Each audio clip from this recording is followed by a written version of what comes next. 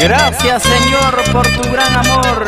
He aquí el ministerio de alabanza, voz que clama en el desierto, desde Cañaris, Lambayeque para el Perú y el mundo.